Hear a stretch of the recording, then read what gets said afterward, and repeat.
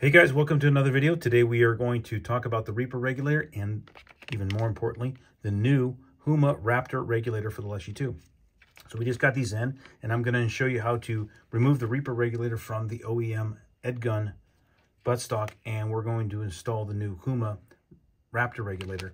What's cool about this is that there's less than one bar variation uh, when you set the regulator up over the course of uh, tens of thousands of cycles. So these are extremely accurate competition set regulators, and this one's also a transverse reg. You don't have to do any machining or any major work to switch them out. So we're going to talk about how to do it, and I'm going to first remove the Edgun regulator, the OEM one. Of course, before we start, I'm going to make sure that we're safe. Remember that working with high pressure parts can be dangerous. You want to ensure that your buttstock is fully empty. You want to also make sure that you're wearing proper eye protection and gloves if needed. First thing we're going to do is we're going to remove the regulator and plenum from the buttstock. This ensures that obviously we don't have any pressure in here and it's much easier just to work with the regulator.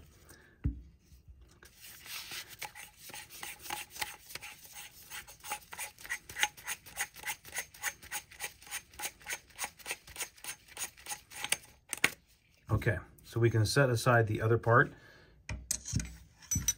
and we're going to first remove the adjustment screw from the OEM Reaper regulator.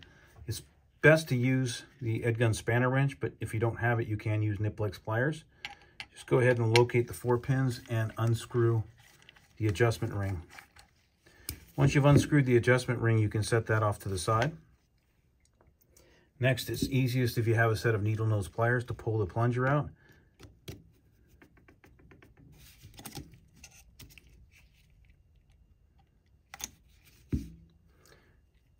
Once you've pulled the Belleville washers and plungers out, you can also set that to a side. Goes without saying that we are working on an extremely clean environment so that we don't get any dust or debris inside of our regulator. All right, so now we're gonna take our spanner wrench. Now, a lot of times we put a little bit of Loctite in here. So if that's the case, you don't need to put a lot of heat to this. Just a heat gun will get this broke loose. For the video purposes, we've already broken it loose just to keep it succinct for you. Okay, so now once we've removed the cup, we're going to set that aside and we are going to take out the filter. In case you guys didn't know that's what this is. It's a filter to keep from stuff getting inside the regulator because we it does use a micro ball.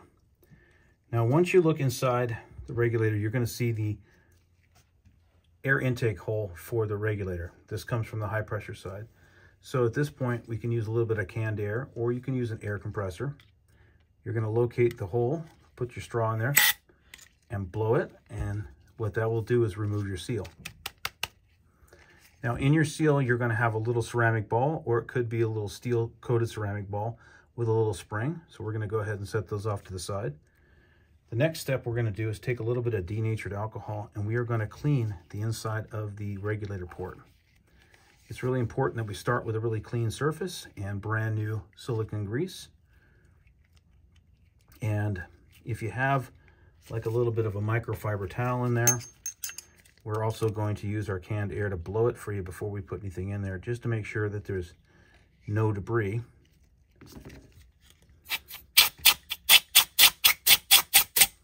Okay, so now that we've got that nice and clean, we're going to take a little bit of silicon, pure silicon. We don't want to use anything else. It doesn't take much. You can see I don't have very much there and we're going to coat the inside of the regulator, especially the porthole there. Okay, once we have enough silicon inside the port, we're going to set this aside and we're going to talk about the regulator. So when you get your regulator, it's going to come, there's going to be two bags inside. The first bag here is going to be the high pressure piston and it's going to have two extra seals. Those seals you just save for later in case you wear them out. They can compress over time, or if you over compress the regulator, you can damage those. So they're just extra in case you need them. So the first thing we're gonna do is we're gonna take the piston seal out of the bag and it's gonna have a little O-ring and a brass. And if you look at it, see if I can get it nice and focused here, you see that there's, it looks like a screw head, a Phillips screw head on one side and a piston on the other. So the nipple is gonna go up. So X down. Phillips down. So we're going to locate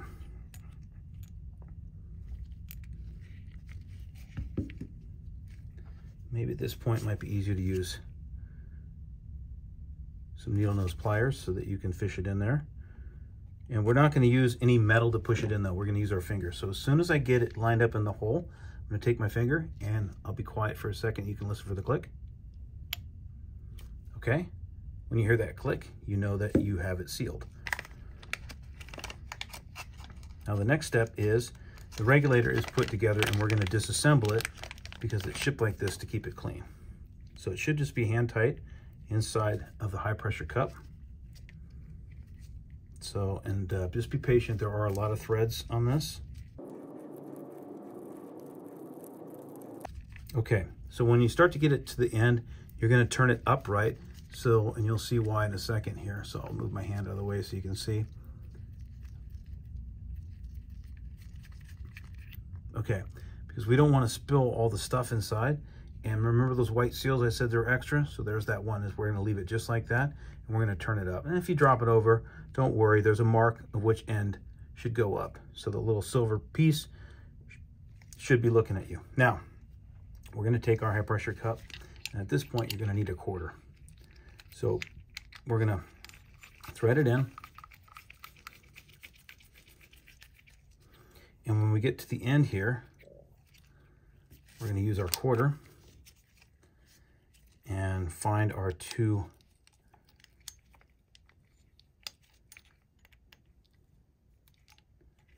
and just tighten it nice tighten it down so it should be flush and nice and tight okay so we just want to make sure that it's tight we don't need to really use any tools or anything like that to get it tight now the next step is you're going to turn your regulator or excuse me your plenum over the reason why you're going to do that is you're going to See that little hole right there? We want this to go inside that hole. So we're going to turn this upside down, locate the threads. Remember the threads are fine, so we're gonna go slow until you have timed them. And then you're just gonna keep threading them all the way through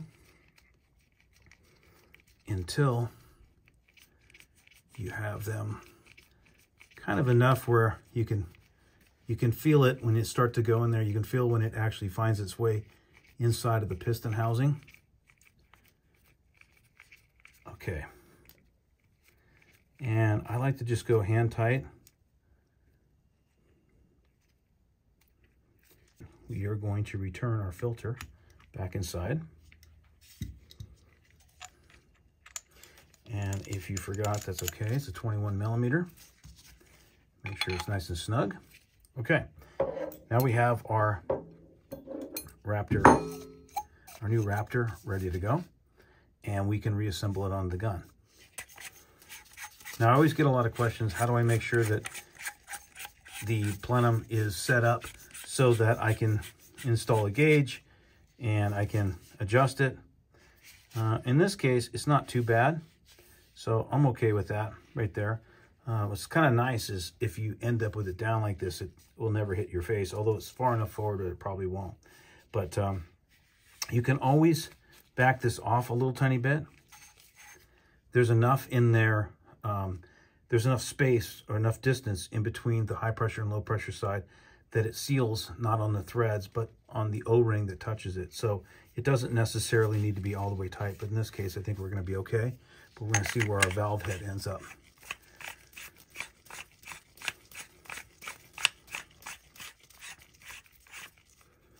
Okay, so our valve head is way off on this one.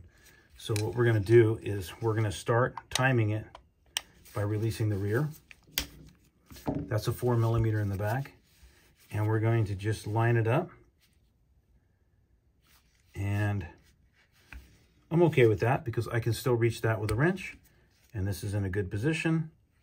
So again, there's a little bit of leeway on both the valve head up here and the plenum to high pressure side in how far, how many threads you need to tighten up. Obviously, we don't want a huge gap here, but a half a thread or half a turn is not going to make any difference on how it seals. Okay, so at this point, let's make some space here and get rid of our tools. And we're going to see how this thing regulates. So what we're going to do is we're going to remove the gauge plug. This is a four millimeter. And we're going to take the gauge plug out.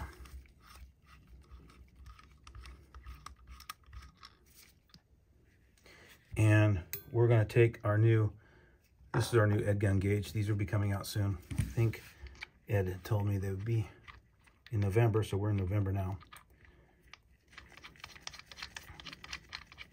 Think they look good. And I like a digital gauge because they're so, so much more accurate than everything's in position. Double check everything before I gas it up with the handy easy fill. And we can go just above 200. We don't need to go that high. Okay, at this time, it's very normal for you not to pass any air through here.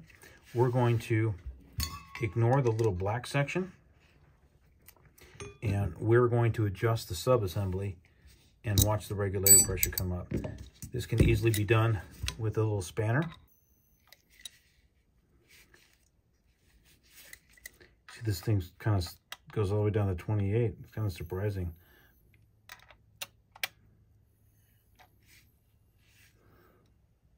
We're at 90. Let's adjust the sub-assembly a little bit more.